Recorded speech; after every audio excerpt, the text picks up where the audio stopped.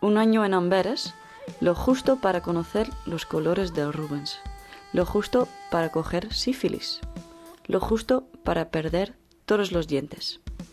Ir ahí a casa de mi hermano en París.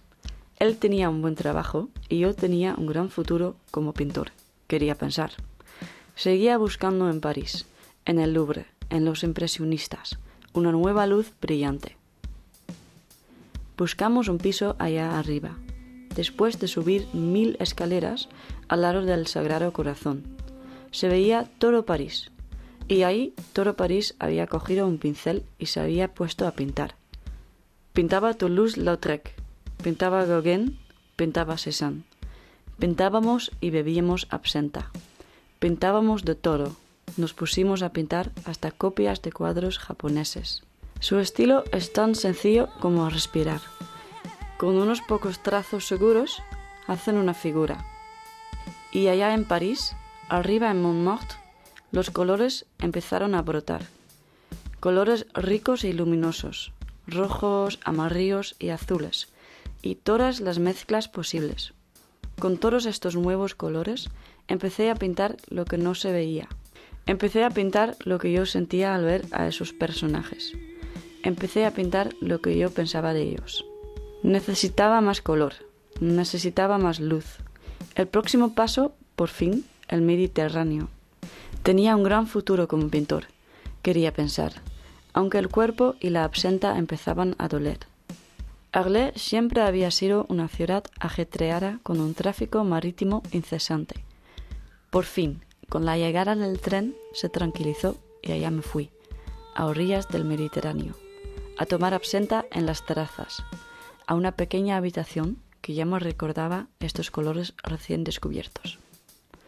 Aquí no me hacía falta para nada el arte japonés, porque me imaginaba estar en el Japón y nada más necesitaba abrir los ojos y ver lo que tenía delante. Pinté los campos de trigo, los pantanos de Rórano, el canal, y pintando aquí en plena naturaleza empezaron a brillar los amarillos, los verdes y los azules. Pasé una semana en Saint-Marie. En la playa de arena había pequeñas barcas verdes, rojas y azules, de formas y colores tan bellos que hacían pensar en flores. Son tan pequeñas que casi nunca van a alta mar.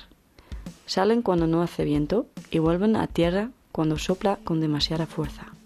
Otro día estuve en un brezal pedregoso donde crecen muy pequeños y retorcidos robles en el fondo de una ruina en la colina y campos de trigo en el valle. Era romántico. El sol se derramaba, sus rayos amarillos muy por encima de los arbustos y el suelo.